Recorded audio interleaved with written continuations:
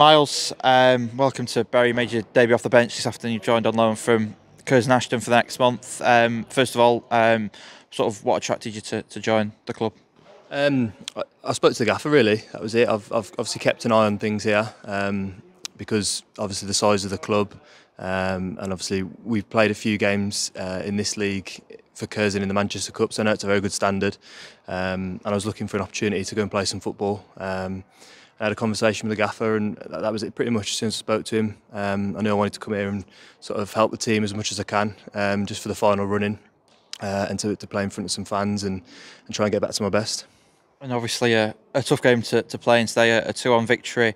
Um, in the end, there, there probably was more opportunities towards the end as well to, to maybe seal it as well. How did you how did you see it today?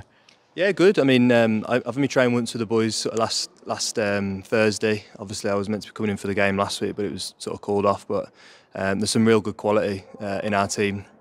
I think we shaded it anyway, um, but obviously the last sort of half an hour or so as the game was getting stretched, we were sort of making opportunities, um, and it could have been could have been a lot lot more comfortable. Um, obviously, I had the chance, and there's one before, so I got this tambourine. I've been given a tambourine, whatever that means, I'll find out. But yeah, um, yeah, I think we did well in the end, and we deserved our win. Um, and it, you know, it's just about keep winning and uh, and try and try and get as many points as we can.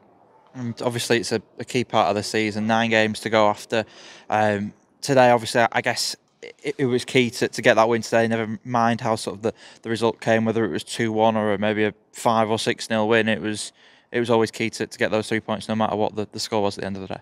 Yeah, definitely. Soon, obviously, there's a bit of um, uncertainty whether the game is going to go ahead this morning. Um, but if you're playing, you want to you want to win the points. Um, you don't want games in hand. You want points on the board, um, and we've managed to do that today. Like I say, it could have been a lot more comfortable, but um, you know we'll get there and, and, and, keep marching on. A week before the next game, a, trip to Irlam. What you what your thoughts, Cedric? What do you what do you know about the, the North West Counties League teams? Not a lot to be fair, but the homework that we get sort of before a game is, is, second to none. Um, the coaching staff really sort of clue us in, and the opposition down to sort of every single player on the opposition team. Um, so I'm sure we'll get that again and, and, work on it in training, and have a good couple of sessions before the game. Um, so we're ready. Perfect. Cheers, Miles.